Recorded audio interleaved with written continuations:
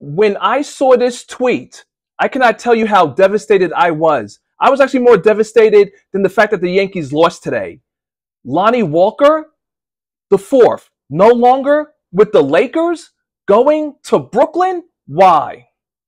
And you know what really makes this the most whack?